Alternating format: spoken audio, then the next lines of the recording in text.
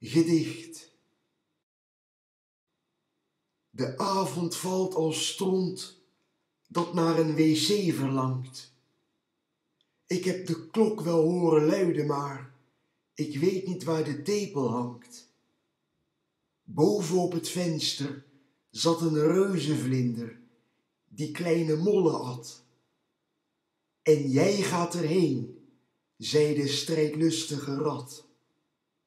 In de wc ligt een mooi hoopje stront.